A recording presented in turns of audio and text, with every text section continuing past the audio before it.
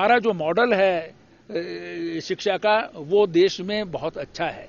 Sustainable development goals के indicators में education की दृष्टि से हिंदुस्तान में हम नंबर एक के हैं।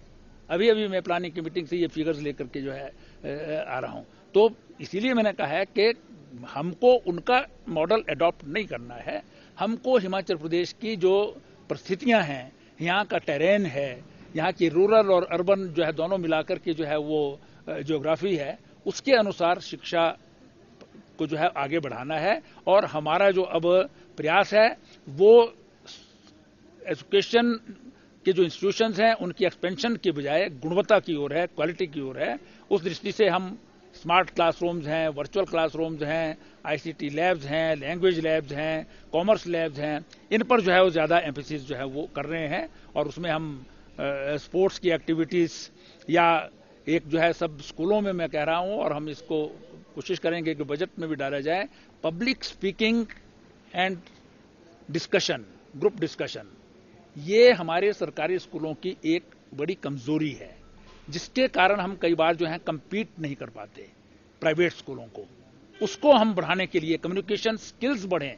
हमारे बच्चों की अंग्रेज़ी अच्छी है, लेकिन बोल नहीं सकते अंग्रेज़ी में। इसलिए उसको बढ़ाने की दिशा में सभी टीचर्स को पब्लिक स्पीकिंग पर और ग्रुप डिस्कशन पर जो है, ज़्यादा एम्फोसिस करना चाहिए। जितने टीचर्स हमने भरे हैं, उतने टीचर पिछले जो है, वो दस साल में नहीं भरे गए थे। दो वर्षों में हमने जो है एलिमेंट्री और हायर एजुकेशन में more than seven thousand teacher जो है, वो रेगुलर बेसिस पर भरे हैं। हमारा एम्फोसिस है कि हम स्कूलों में क्वालिटी एजुकेशन देने के लिए सिलेक्शन प्रोसेस से जो है, वो टीचर्स की भर्ती करें। तो उसमें दिक्कत आती है, कई बार हमारे जो एचपीएससी है और स्टाफ सिलेक्शन बोर्ड है, उसमें बहुत लंबा टाइम जो है वो प्रोसेस में लग जाता है। तो इस कारण से जो है वो डिले होता है।